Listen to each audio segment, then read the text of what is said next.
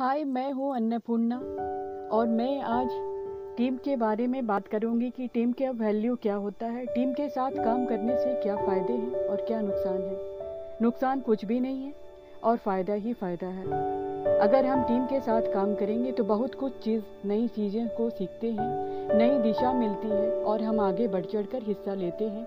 हर कार्यक्रम में हम आगे रहते हैं। तो चलिए आज मुझे बताना है कि टीम वर्क में काफ़ी फ़ायदे हैं और मैंने बताया है ये कि टीम के साथ काम करने से क्या फ़ायदे हैं। तो टीम के साथ काम कीजिए और आप भी इसके फ़ायदे उठाइए, नई दिशा मिलेगी, नई राह मिलेगी और बहुत ही आनंद आएगा। हमने 26 जनवरी को 2021 को एक एग्जीबिशन लगाया और उसमें बहुत सारे स्टॉल थे, जिसमें नारियों का भी स्टॉल था और सारे लोगों ने मिलकर एक टीम के रूप में काम किया।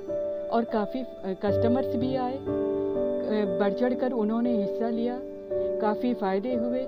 काफ़ी नई चीज़ों को सीखने के लिए सबको मिला और नई राह मिली, नई दिशा मिली और हमारे, हमारी कोशिश अभी भी ये है कि हम नई राह की ओर बढ़ें और नई दिशा की ओर जाएँ। नए नए कार्य करें। एक टीम बना करके हर वक्त हम टीम के साथ काम करें और टीम के साथ काम करने के बहुत सारे फ़ायदे हैं।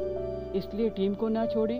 और अकेले कोई भी काम आप करना बहुत ही मुश्किल है। तो जब तक हम टीम के साथ मिले रहेंगे, हमारे सारे काम बहुत ही आसानी से निपट जाएँगे। बहुत सारे विचार देखने को मिलते हैं, सीखने को मिलते हैं। टीम का बहुत ही महत्व है, बहुत ही वैल्यू है। सो, आप लोग भी आगे बढ़िए और नई टीम बनाइए।